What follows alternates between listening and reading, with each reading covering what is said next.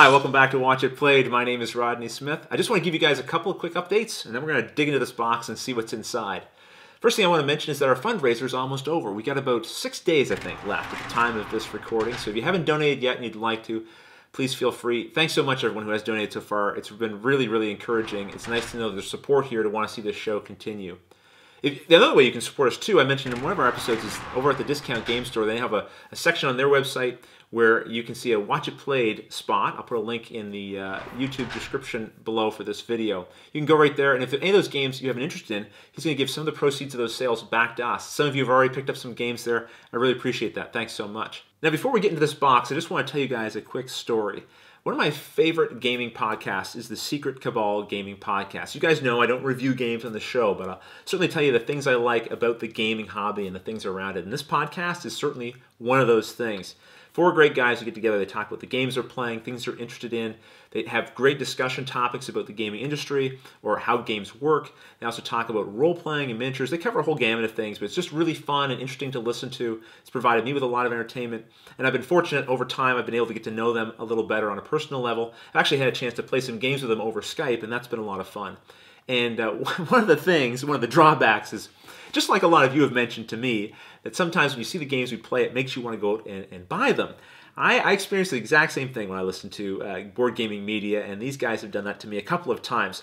Jamie, there, one of the hosts, uh, was really excited about one of the Kickstarter projects there, Sedition Wars, which is a game that comes with all kinds of miniatures. And it wasn't it wasn't a cheap game, uh, and uh, I ended up uh, with very little twisting of the arm getting into that as well due to his uh, talking it up.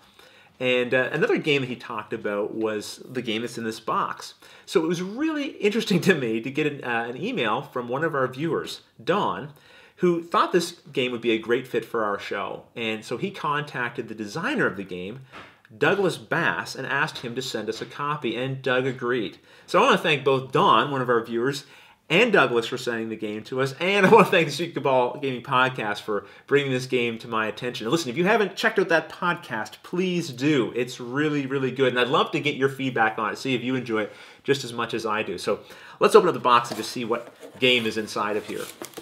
Well, first of all, on top, we have some dice. Do you think this is a game Luke's going to enjoy? Probably. And that's because this game is actually called Garden Dice. So you know dice is at the center of the game mechanics for this game. And so let's take a look at the components inside of this box, and I'll tell you a little bit about it as I show you them. This game is for two to four players, and it takes about 60 minutes, it says, to play. In the game, players are going to be rolling dice, and then they're going to use the results of those dice to perform different kinds of actions, like buying seeds, planting them, and then watering them. And then you're going to be able to harvest the vegetables that grow. So you're going to have sort of basically a, a section of garden that you're growing things in, other players are going to be growing things in that garden as well. So you're also going to be able to use actions to send critters and other things around to gobble up their portion of the garden and take away points from them because the things that you grow will give you points at the end of the game. And as you're seeing, the game comes with a lot of components, and they look like they're really nice quality. We've got a game board here. There's tiles, tokens, dice, wooden discs, and even these really nice player aids. I like these quite a bit. It looks like it tells you exactly what you do on a turn, the different kinds of actions you can take, and then on the back side, it gives you the scoring information as well.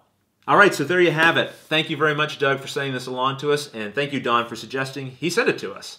And yes, thank you, Jamie, from the Secret Cabal Gaming podcast, for you getting me kind of fired up about this game in the first place. I think the theme is going to be fantastic for my family. Uh, my wife is always trying to get me to do work in the garden, which I hate doing, and uh, maybe I'll be able to get her into the dice garden instead. we'll see. Anyway, until the next episode, guys, thanks for watching.